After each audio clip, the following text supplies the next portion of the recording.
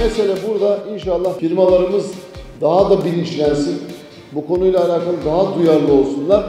Temennim odur ki önümüzdeki yıl 31 firmayla değil 61 firmayla bu organizasyonu yapalım. 81 firmayla bu organizasyonu yapalım ve mümkün olduğu kadar çok daha fazla engelli kardeşimizi istihdam etme imkanı, onların hayatlarına dokunma imkanına sahip olalım. Engelsiz istihdam buluşmasının bu manada değerli ve kıymetli olduğunu da düşünüyorum bir kişinin daha hayatına dokunabilirsem, bir kişiyi daha kazanabilirsek benim için iş amacına ulaşmıştır, gayesine varmıştır.